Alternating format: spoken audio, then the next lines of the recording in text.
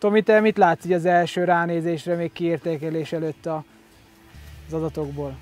Hát ilyenkor mi már mindig kicsit fejben értékelünk, mert ez a ünnepnapunk, a terepszemle kísérletek zárónapja mindig az aratás, és hát engem meglepett, hogy nagyon szuper eredmények születtek, ez tényleg szuper-szuper. Nem számítottunk rá, mert ránézésre, aki látta ezeket a parcellákat, szemre nem jön ki a 10-15% különbség, a parcella méréseknél meg nagyon gyakran 15-20% terméskülönbségeket is tapasztaltunk egy-egy kezelés hatására. Hát a fősláger mindig mondjuk, hogy starter, lomtrágya, fungicid blokkon belül, hogy mitől várjuk a legjobb eredményt. Mi már mindig nagyon-nagyon várjuk a starter eredményeket. Én ki is gyűjtöttem a kezetlen kontroll 6 ismétlése az 39 kg átlag parcella súly, ezzel szemben a 30 kg pannos starter megállé 44,7. És hogyha ezt felszorozzuk hektárra, Tomi, ez akkor hogy jön ez ki körülbelül? 15-16% termés többlet, hektáronként tonna per hektárra vetítve pedig ö, a kezetlen kontrollja 7-7,5 tonna ö, körüli termés, és hát ugye a plusz 15% az azt jelenti, hogy egy ilyen jó 8,5-9 tonna közötti lesz. Egy héttel ezelőtt a repcénél is meglepően jó eredmények jöttek, most meg a búzánál ezek szuper eredmények.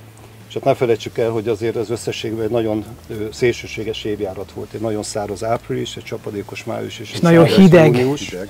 És nagyon meleg június, nagyon hideg április. Jellemezte, és május. azért itt van nekünk a lomtrágya blokkunk tele kiváló készítményekkel, ugye a bukszálkalászossal, bukszárrézzel, erre alapozott többféle fenológiai fázisba kiutatott kezelésekkel és itt még nem végeztem ilyen kis gyors számolásokat, csak a kezeletlen kontrollnak az átlagát számoltam ki, az 33 kilós átlagsúly, de ránézek a lomtrágya blokkra, itt vannak 42, 43, 44, 43, 39, 43, 39, tehát rengeteg a 39-40 kg körüli parcella súly, ami azt jelenti, hogy a kezetlen kontrollhoz képest jó néhány lomtrágya kezelésünk is bőven 15% fölötti terméstöbletet fog hozni ezt néhány napon belül már tudni fogjuk.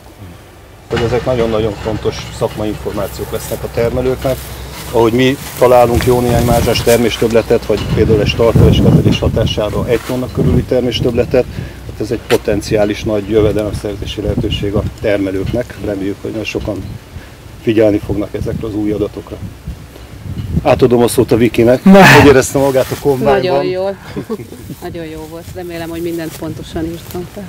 Idén egy új technikát próbáltunk ki, egy ilyen automata mintavetőt, nagyon Igen, egy kalászcséplő gyakorlatilag. Igen, egy kézi kombány gyakorlatilag, ami kicsépeli a kalászokat, a szemet és egy tartályba összegyűjtés, megkönnyíti így a mintavételt, aztán lehet kielemezni. És mit fogunk jó. most megvizsgálni a következő két órába, levezetésképpen? Ügyet, fehérjét. Sikert! Akkor menjünk és mérjük meg a minőségi paramétereket.